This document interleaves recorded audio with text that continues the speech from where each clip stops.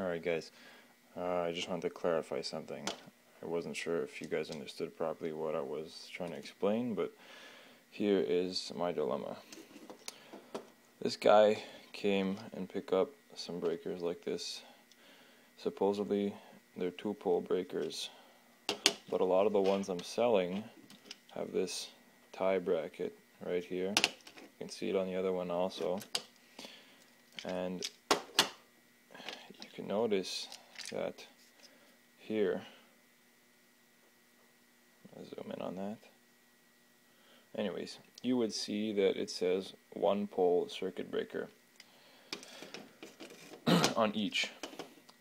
And this one has one sticker that says two pole circuit breaker. And the difference is that, if you can see it, the handles are different.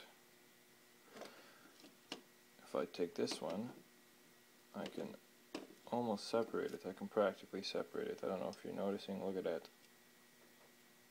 They're just attached by this metal tie bracket. Same thing for this bottom one. This double at the bottom.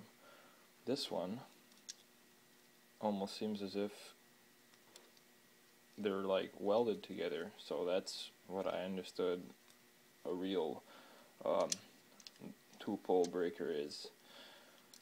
So that's what I wanted to know. I wanted to know if these were used on the old panel and I mean never had it it's already coming off. Look at that. That's not right. I doubt that's the right way.